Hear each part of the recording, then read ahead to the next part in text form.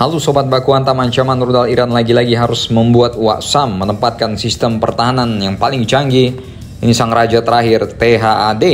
Jika Patriot masih keronco-keronco, maka ini langsung bos terakhirnya yaitu terminal High Altitude Area Defense ke timur tengah sebagai respon terhadap meningkatnya ancaman serangan rudal balistik Iran. Maka dengan ini, negara UAB akan mengoperasikan kombinasi sistem Aero dan juga THAD Waksam secara real time.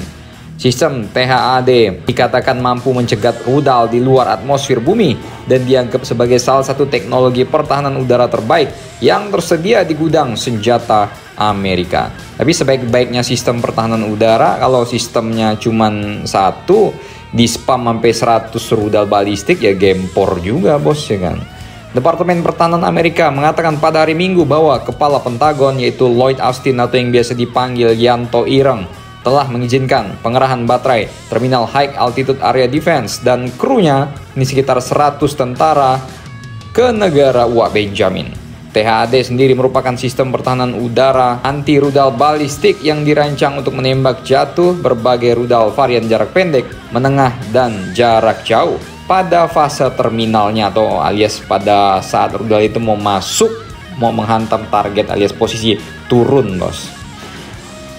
Dan sistem ini akan mencegat dengan pendekatan hit to kill alias dipukul dulu rudalnya. Ini gimana sih kan?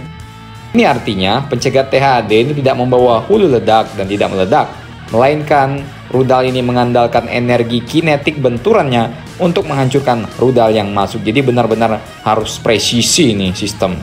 Sistem ini mampu bersifat mobile, dapat dikerahkan dengan cepat ke mana saja.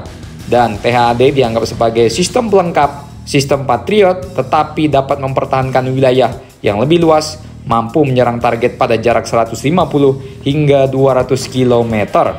Setiap baterai ini terdiri dari 6 peluncur yang dipasang di truk 48 pencegat, peralatan radio dan radar, serta membutuhkan 95 personil untuk mengoperasikannya.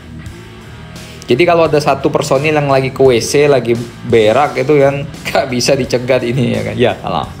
Baterai THD sendiri mencakup setidaknya 6 kendaraan peluncur yang masing-masing 8 rudal dan menghabiskan sekitar 800 juta dolar per sistemnya.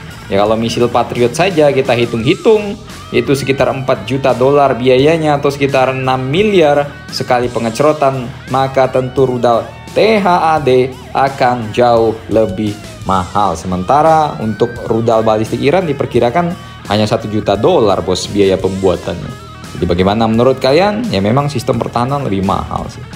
Silahkan komentar dan baku hantam kalian di bawah.